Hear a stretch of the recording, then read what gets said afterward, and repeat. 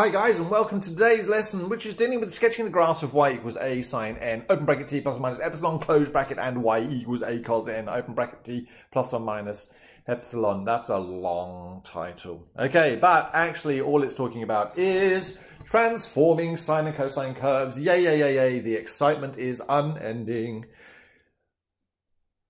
Having already dealt with what a sine curve and a cosine curve looks like and all the other chapters where we've transformed things, hopefully you already now have a working understanding of the fact that we can dilate, reflect, and translate functions.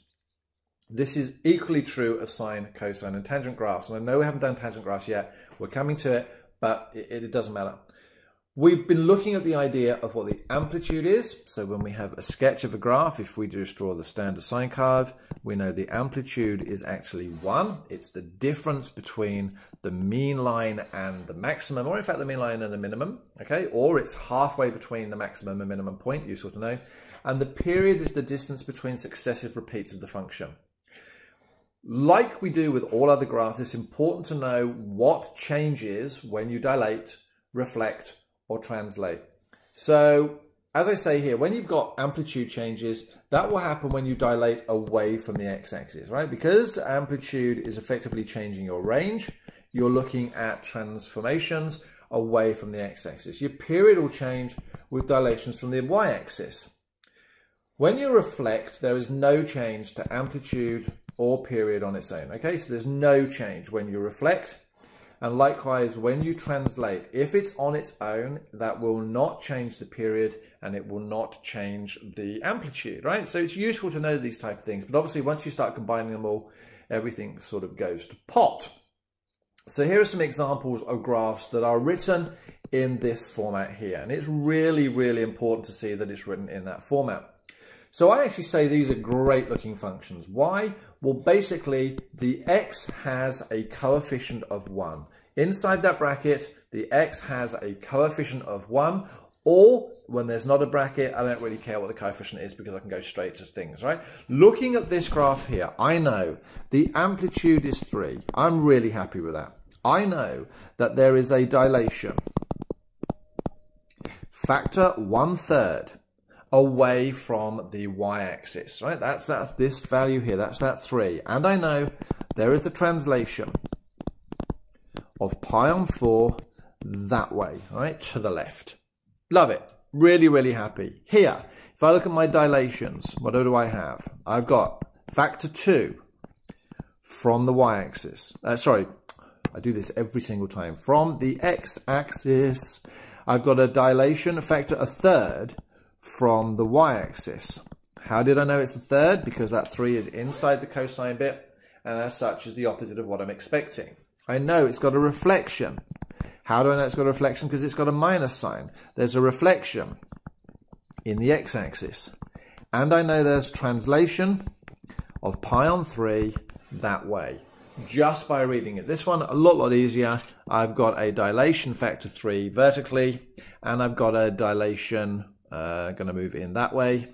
Factor one third. So much easier than all the others. Now, it's unlikely that you'll get a nice, wonderful question in an exam that's not there to trick you. You've got to see the tips and tricks. And in this situation, I notice that the x no longer has a coefficient of 1.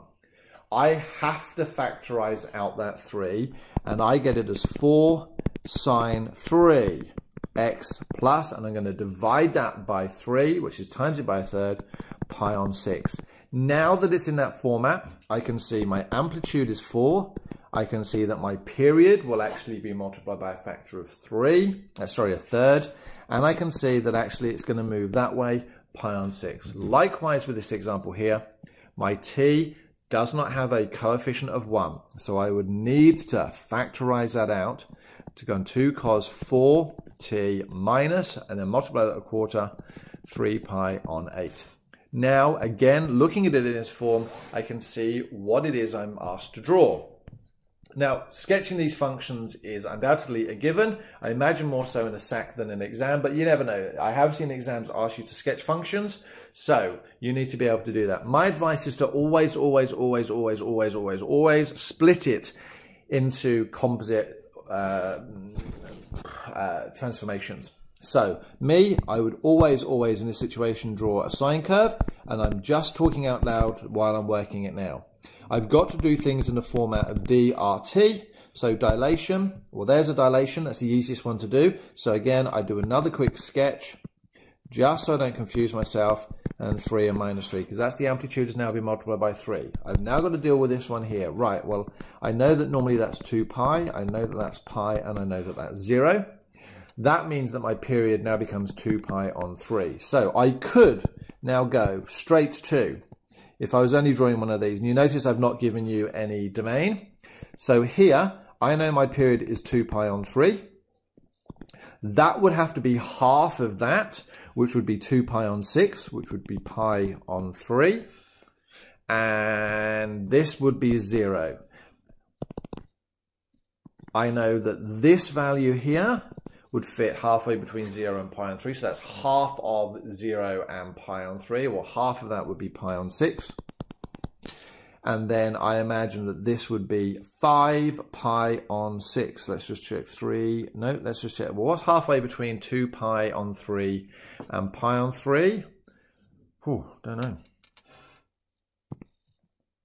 So the easiest way to work out what's halfway between is add the two together. So 2 pi on 3 plus pi on 3 is 3 pi on 3, which is pi, and then halve it. So that's going to be pi on 2.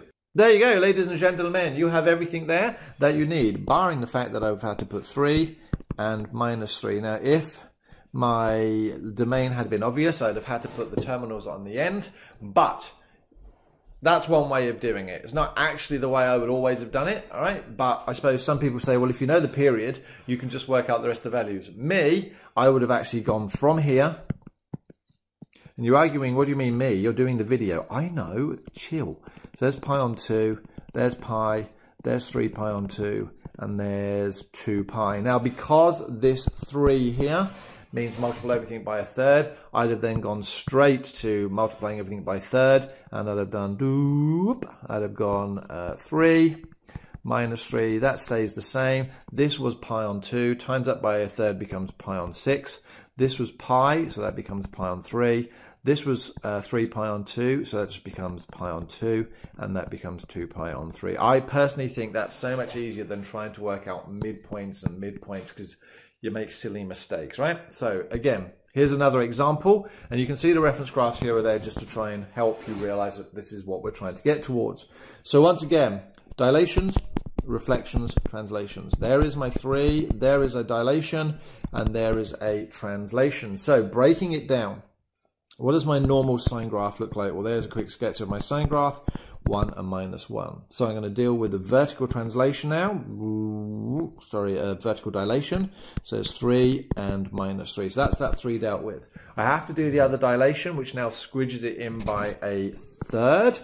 So again, I'm going to do my, that was pi on 2. There is pi. There is 3 pi on 2. And there is 2 pi. I'm going to third everything, which means that that now becomes, let's make it slightly bigger uh, 3 and minus 3, that stays a 0. So that now becomes pi on 6. That becomes pi on 3. That becomes pi on 2. And that becomes 2 pi on 3. So, dealt with all my dilations. Now I have to do my translations. Plus pi on 4 means I'm actually going to move it that way, pi on 4.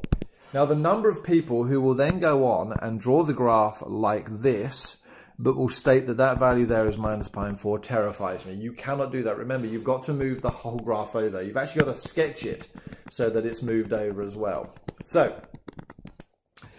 well, and up, and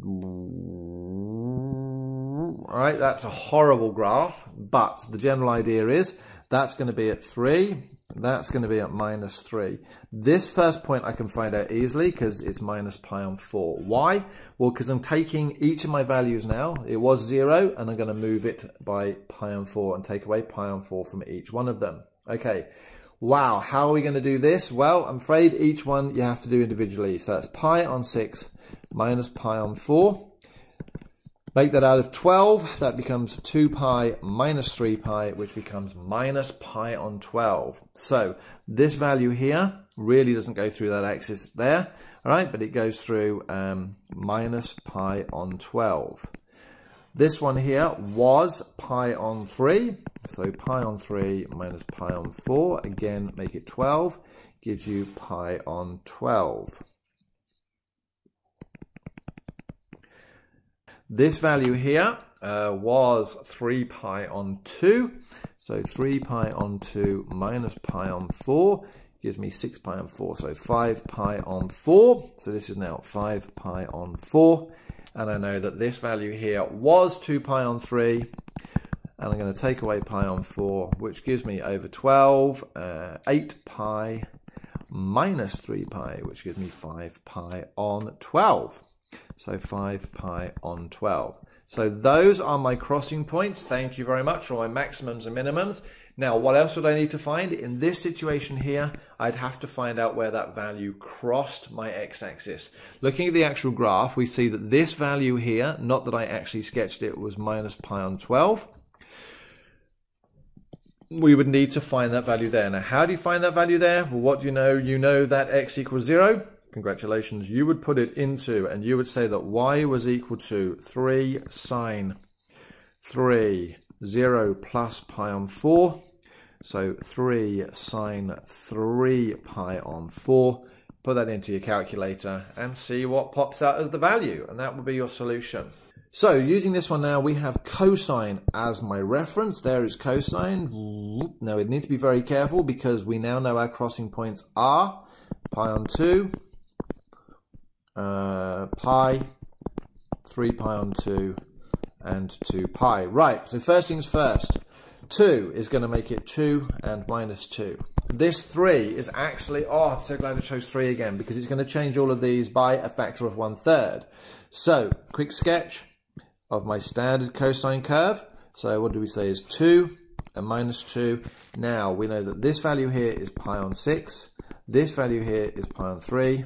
This value here is pi on 2, and that value there is 2 pi on 3. All I've done is times all of those by a third or divided them by 3, whichever you feel is most appropriate. Now, that's what my dilation's done. Then we have to do reflections, which is minus 2. So, up here, quick sketch, is now going to do this. Because that minus sign reflects it in the x-axis, if you remember. Still 2 and minus 2, and the crossing points are still pi on 6, pi on 3, pi on 2, and 2 pi on 3. They're still the same. Now, we've got to do this minus pi on 3. So I'm going to move everything that way by pi on 3. Yep. La, this is awesome. Now, actually, yeah, so I'm now going to look at this and realize that my I'm now going to look at this and realize that my graph is actually probably going to do something more like this. And we've just got to take all of those values and add on pi on 3. So the first things first is that value there is going to be pi on 3. So my minimum is going to be pi on 3. This value here was pi on 6. I've got to add on the pi on 3, which is going to give me pi on 6 plus 2 pi on 6, which gives me 3 pi on 6, which is pi on 2. So that now becomes pi on 2. This maximum value was pi on 2 sorry, that maximum value was pi on 3. I'm going to add on pi on 3, which gives me 2 pi on 3. And this value here came down at pi on 2, which I'm going to add to pi on 3, which gives me 5 pi on 6. And obviously you would keep going. We would need to put our terminals on if we had been told uh, our domain and we would need to work out what this x-axis intercept is. But the ideas are exactly the same. Now I'm not going to do the next two graphs because firstly, this one here is a trick, remember? So you would rearrange that or you would refactorize it as sine 3x plus pi on 6. This would mean very quickly it would be the standard sine curve, 4 and minus 4 is my amplitude. That would be done. This factor of third would once again give that as uh, pi on 6, uh, pi on 3, pi on 2, and 2 pi on 3. That's that 3 done. And then you would take the whole graph, oops, not that way, and you would shift it pi on 6 that way.